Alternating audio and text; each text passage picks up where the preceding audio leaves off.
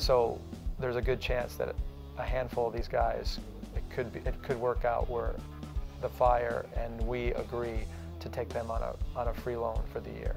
So that's that's exciting, you know, to have that agreement with a team uh, like Chicago, who's very open-minded and very flexible. It's more about the relationship. I mean, there's going to be a, a legalese-filled document that MLS has to approve that eventually we'll sign, but it's been more of a personal relationship between our club and their club, and uh, you know, the, the collaboration between myself and David Irving and Brian Carroll and Veljko Paunovic and Nelson Rodriguez. Uh, you know, that's what it's about. And I was really impressed. They were very good to me. They gave me full access to everything they were doing uh, and really helped integrate me into the process. And, uh, you know, as an ex-player for the Fire, I have a vested interest and uh, it was just, it was a nice, real nice gesture on their part, and it's a big opportunity for us, and hopefully it's a big opportunity for them to get some of their really good, young,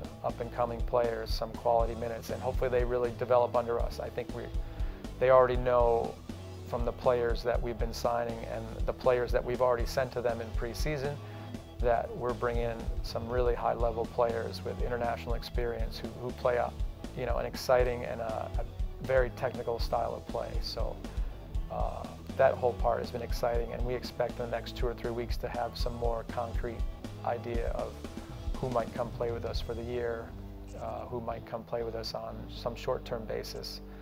Um, but couldn't be happier. I mean, a great way for us to start out. It kind of multiplies our budget in some respects by giving us access to players uh, on a free loan and uh, it's just a great opportunity. It's just another another piece of the puzzle that is going to really raise the level of our of our performance on the field, but also just the whole culture around Tulsa Roughnecks.